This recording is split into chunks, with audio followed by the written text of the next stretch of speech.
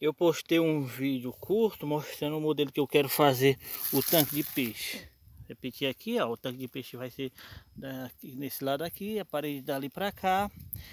Aí eu fiz uma maquetezinha aqui de como vai ficar o tanque. A parede, ó. Aqui eu vou botar pedras. Nessas pedras aqui vai ser rebocado de cimento. Aí eu tenho um tanque de peixe lá em casa que tem um problema. Eu já impermeabilizei até com argamassa, mas em certo período começa a vazar, dar rachaduras. E lá é todo revestido de ferro rebocado. Mas mesmo assim, porque nossa região aqui tem uma leve vibração sísmica e aí racha as casas.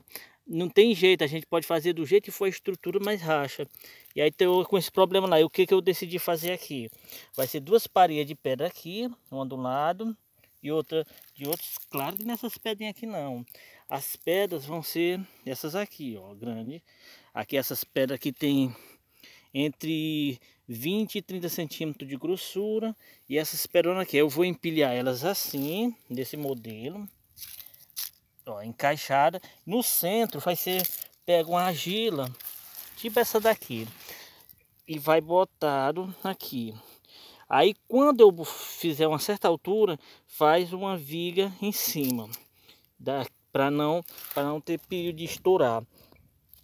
E aqui, ó, desse lado todinho, tanto vai ser rebocado com cimento para água. Mas o que que acontece? Quando essa parede aqui rachar, que ela vai rachar com o tempo, aí quando a água chegar nessa gila aqui, a gila vai vedar a água para não ficar com vazamento como lá no meu tanque. Aí eu vou fazer esse modelo aqui. Como eu vou fazer as duas paredes retas e o tanque tiver água aqui dentro, e esse modelo aqui não for o que eu estou esperando, eu só faço fazer uma parede de cimento desse lado aqui no futuro. Que aí eu não vou ter de mexer com essa estrutura toda, estourar o tanque nem nada. Só faço fazer aqui uma parede aqui desse lado, que é o lado de fora aqui. Aqui é o eu estou imaginando é, detalhe aqui, o lado de dentro e aqui o lado de fora, que é onde vai ficar a água represada, desse lado aqui.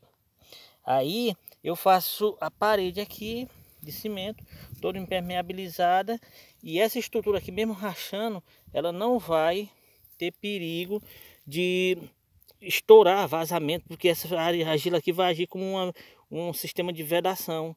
O cimento é muito bom, mas não, com o tempo não tem jeito, ele racha. Aí, a cada, vamos supor, com um metro de altura eu faço uma viga em cima com ferro.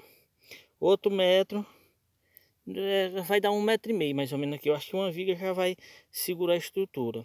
Então fica mais, mais barato um pouco do que fazer todo no concreto e mais seguro porque tem essa parte aqui de argila no meio. É meu projeto. Se alguém tiver uma opinião melhor para e, e puder compartilhar comigo, eu agradeço.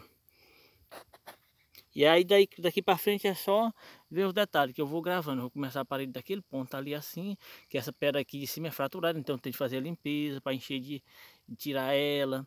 Aqui o lajeiro, essas aqui ó, tem falha. Aí eu vou tirando aqui ó, já me tamanho isso aqui é porque eu já levantei. Aí eu vou tirar esses blocos de pedra aqui, que eu já estou tirando esses, para fazer. O outro lado da parede é aqui ó. Aí com fé em Deus daqui um... Isso aqui é um projeto quando eu estiver nas horas vagas. Quando eu não tiver muito trabalho para fazer, eu venho aqui e faço um pouquinho. Vai demorar para ser feito.